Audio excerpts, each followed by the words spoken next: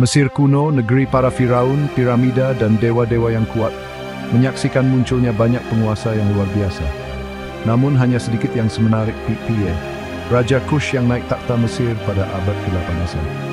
Berasal dari kerajaan Kush, selatan Mesir, pemerintahan Piye menandai momen penting dalam sejarah Mesir, mendirikan dinasti ke-25 dan menyatukan kembali Mesir yang terpecah belah di bawah kekuasaannya. Kisah Piye bukan hanya tentang penaklukan militer, ini tentang pertukaran budaya, kebangkitan agama, dan warisan abadi seorang Firaun Nubia yang meninggalkan jejak yang tak terhapuskan di atas pasir waktu.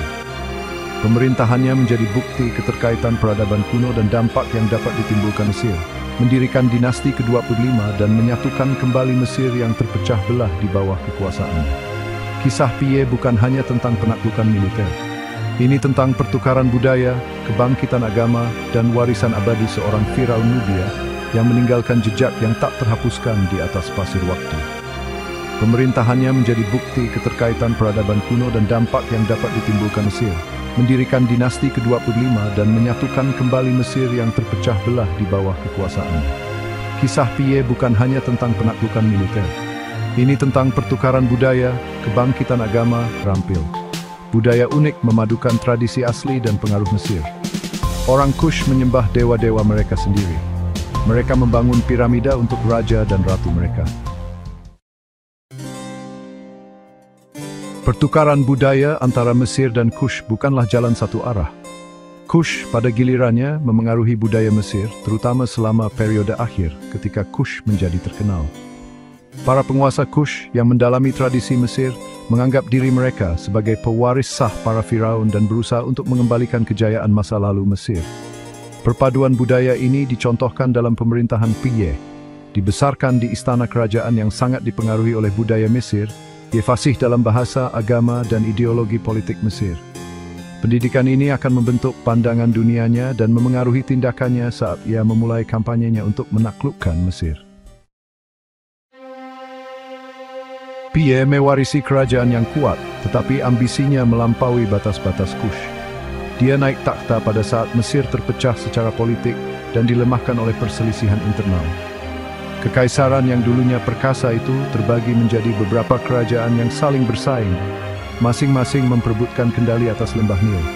Pie melihat peluang untuk memulihkan ketertiban di Mesir, untuk menyatukan kembali dua tanah di bawah satu penguasa yang adil, dirinya sendiri.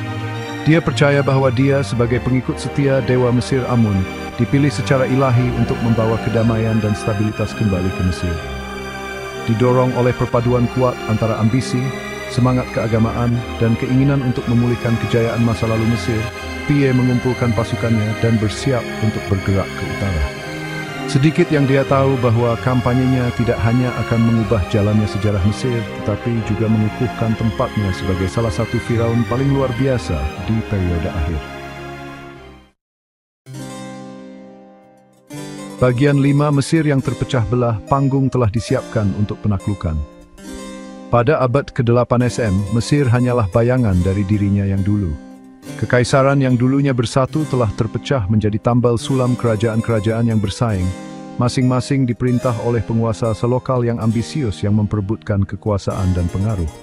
Lanskap politik retak, tanpa satu penguasa pun yang cukup kuat untuk menyatukan dua tanah.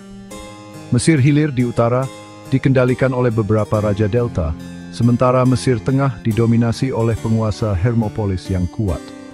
Mesir Hulu, jantung tradisional para Firaun, juga terbagi, dengan Tebes, bekas ibu kota, berjuang untuk mempertahankan pengaruhnya. Fragmentasi politik ini menciptakan kekosongan kekuasaan yang dengan cepat dikenali oleh Piye, yang mengamati dari benteng selatannya di Kush. Dia melihat peluang untuk mengeksploitasi perpecahan di dalam Mesir dan memposisikan dirinya sebagai penyelamat dan persatuan dan kepemimpinan yang kuat. Bagian enam penaklukan dimulai, kampanye militer Piye. Kampanye Piye untuk menaklukkan Mesir adalah operasi militer yang direncanakan dengan cermat. Dia memahami bahwa dia perlu memenangkan dukungan rakyat Mesir. Pasukan Piye bergerak ke utara di sepanjang sungai Nil merebut kota-kota. Dia menampilkan dirinya sebagai pembebas, seorang raja yang saleh. Banyak orang Mesir menyambut Piye sebagai penyelamat. Bagian 7, Penaklukan Tibes, kemenangan yang menentukan. Penaklukan Tibes, ibu kota kuno Mesir dan kota dengan signifikansi religius dan simbolis yang sangat besar, adalah momen penting dalam kampanye PIE. Tibes adalah hadiah yang layak untuk diperjuangkan, dan penaklukannya akan memperkuat klaim PIE atas takhta Mesir. Pengepungan Tibes adalah urusan yang berlarut-larut. Kota itu, yang dibentengi dengan kuat dan dipertahankan oleh garnison yang gigih, melawan pasukan PIE untuk waktu yang lama. Namun, strategi militer PIE yang unggul dan dukungan yang semakin besar yang dia dapatkan dari penduduk setempat akhirnya menguntungkan dia. Jatuhnya Tibes mengirimkan gelombang kejut ke seluruh Mesir.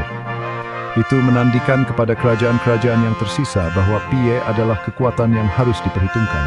Seorang pemimpin yang tangguh yang tidak akan disangkal takdirnya sebagai penguasa Mesir yang bersatu. Bagian 8 Prasasti Kemenangan Pie, Kronik Penaklukan. Penaklukan Paye atas Mesir bukan sekadar kisah yang diturunkan dari generasi ke generasi, tetapi peristiwa sejarah yang didokumentasikan dengan cermat. Sumber utama untuk pemerintahannya adalah Prasasti Kemenangan Pie, sebuah monumen granit yang ditemukan di kuil Amun di Jebel Barkal di Nubia. Prasasti yang luar biasa ini sebuah bukti kesalehan Pie dan keinginannya untuk melegitimasi pemerintahannya menceritakan secara rinci kampanye militernya, penaklukannya atas kota-kota penting, dan interaksinya dengan para penguasa Mesir yang kalah.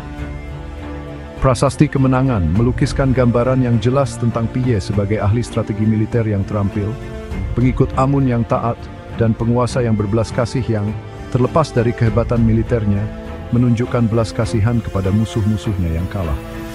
Ini berfungsi sebagai bukti kecerdasan Piye, ketajaman militernya, dan pemahaman yang mendalam tentang ideologi emerge politik Mesir. Bagian 9 Reformasi Keagamaan Piye memulihkan Ma'at ke Mesir. Penaklukan Piye atas Mesir bukan hanya tentang penyatuan politik, itu juga merupakan perang salib agama. Dia melihat dirinya sebagai agen Ma'at yang ditunjuk secara ilahi, konsep Mesir tentang tatanan kosmik, kebenaran, dan keadilan.